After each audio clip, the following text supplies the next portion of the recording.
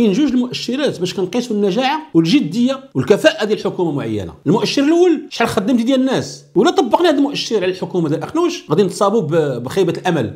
شحال خدمات حكومة أخنوش؟ من مغربي ومغربية. في هذه السنة الأولى من إدارة أخنوش للحكومة. الحصيلة طبيعه الحال لا احتاج إلى ذكرها لأن آه، الموقع ديال المندوبية السامية للتخطيط أي واحد فينا ممكن يدخل ليه وسيجد واحد الإشباع في الأرقام في الجداول في لي كور في لي كامونبير على الوضع المأساوي ديال ديال التشغيل في المغرب. بطبيعه الحال الوزينات كيسدوا العدد ديال المسرحين بالأعداد الوحدات الخدماتية واقفة مصابة بالشلل الناس الذين يلجون إلى سوق الشغل كل شهر ما تلقاوش مناصب الشغل إلى آخره. اذا المؤشر الأول ما غاديش نطولوا فيه الأرقام موجودة في المندوبية في الموقع ديال المندوبية الساميه للتخطيط. المؤشر الثاني هو اللي غادي نركز عليه واللي هو مؤشر لا يحظى بالاهتمام والعناية من طرف النخب الحزبية والسياسية. ألا وهو شحال خرجت حكومة أخنوش ديال الناس في هذه السنة الأولى من حكم أخنوش للشان العام في المغرب. ماشي خرجت الناس للتظاهر الرياضي في الكرنفال في المهرجانات الماراثونيه في الأمداح النبوية إلى آخره. لا شحال خرج شحال خرجوا ديال الناس؟ للاحتجاج على السياسة اللاشعبيه ديال الحكومة ديال أخنوش. في هذه السنة ديال 2022 وصلنا للبيك 11000 مظاهرة اللي تسجلات في سنة 2022 يعني ماشي مظاهرة فنية ولا مظاهرة مسرحية ولا مظاهرة رياضية لا هذو مظاهرات احتجاجية. ولكن ملي غنقولوا حنايا 2022 سجلنا فيها 11000 مظاهرة احتجاجية خصنا واحد السنة مرجعية باش نعرفوا واش الحكومة ديال أخنوش يعني تزاد العدد ديال الاحتقان ولا بالعكس إلى temporiser وهبطات.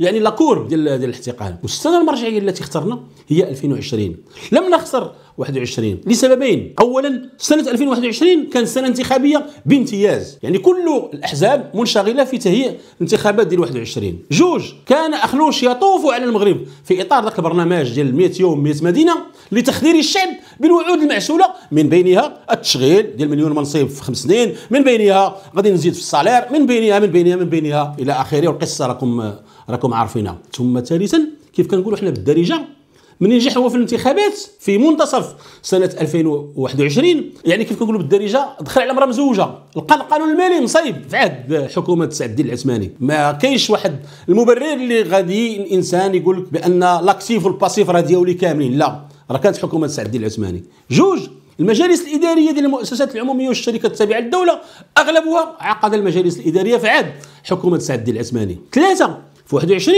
المناصب العمومية السامية التي بفضلها تتحكم الحكومة في إدارة الشأن العام كلها تقريبا تمت في عهد الحكومة ديال سعد الدين العثماني. رابعا القوانين لا إما الصادره على البرلمان ولا التي مصدرها الحكومة أغلبها صدر في عهد حكومة سعد العثماني. وبالتالي 2021 لم تكن سنة مرجعية بامتياز. لهذا اخترنا سنة 2020 كسنة مرجعية لنقارن بين أداء الوضع وما بين وضع 22 آه، للاعتبارات التالية 22 كانت سنة يعني خالصة في l'actif وفي ال passif ديال حكومة أخنوش. أولا صدر القانون المالي ديالهم كامل. ما فيه لا حكومة سعد الدين العثماني ولا حكومة بن كيران ولا حكومة آه، عباس الفاسي. جوج.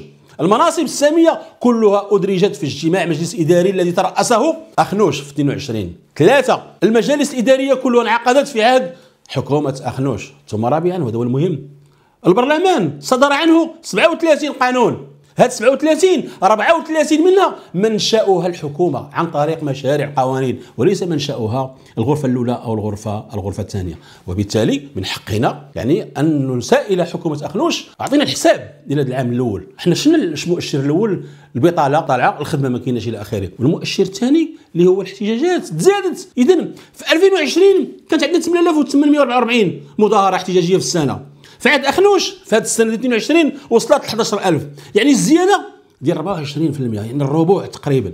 عوض ما يتزاد 24% في الناتج الداخلي الخام عوض ما يتزاد 24% في نسبة النمو الاقتصادي باش نحركوا الاقتصاد تزادت 24% في الاحتجاجات والاحتقانات هذا باغي طوبيس هذا باغي مدرسة هذا باغي طريق هذا باغي البير هذا باغي دار الولادة هذا باغي دار الطالب إلى آخره. بمعنى الحكومة كانت عاجزة عن الوفاء بالالتزامات ديالها.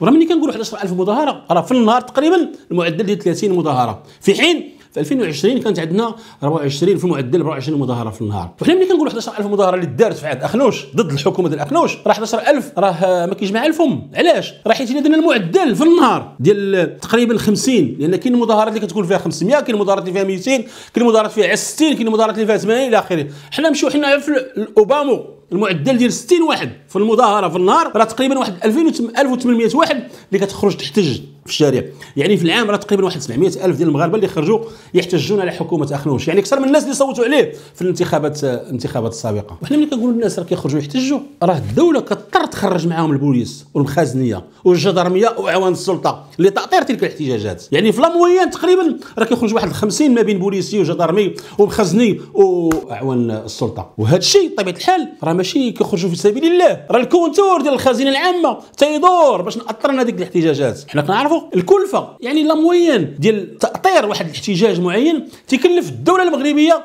ما بين مليون ومليون و500 ألف درهم في النهار. يعني في العام حكومة أخنوش هذه المظاهرات 11000 مظاهرة اللي خرجات الدولة اضطرات تصرف. يعني الماء في الرمله واحد 55 مليار ديال السنتيم على البوليس والمخازنيه والجدرمية من طوموبيلات محروقات آه، اتصالات تليفونات إلى آخره. لمواكبة هذه الاحتجاجات. إذا هنا كنلقاو حكومة أخنوش يعني ذبحت المغاربة على مرتين. المرة الأولى لا خدمة لا ردمة والمرة الثانية داك الصريف اللي كاين في الخزينة العامة كنخسروه على تأطير تأطير الاحتجاجات. طبيعة الحال القادم أسوأ. علاش؟ حيت كيف كيقولوا صحاب الحشيش الطريق مشرية. يعني أخنوش شاري الطريق. يعني كل شيء ساكت لا أحزاب. لا برلمان لا غرفة الأولى لا غرفة الثانية. وبالتالي تساؤل كبير واش كل شيء باع الماتش؟ حكومه اخنوش